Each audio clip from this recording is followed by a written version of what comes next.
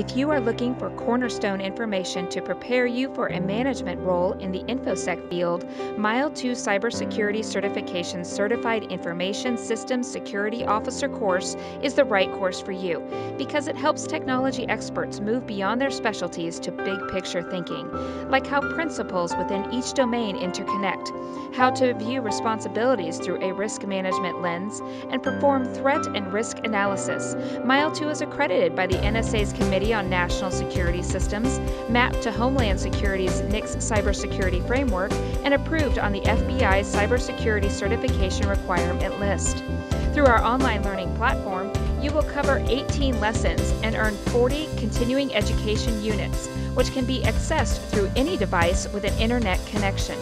It's time to hone your cybersecurity team management skills with Mile2's Certified Information System Security Officer course.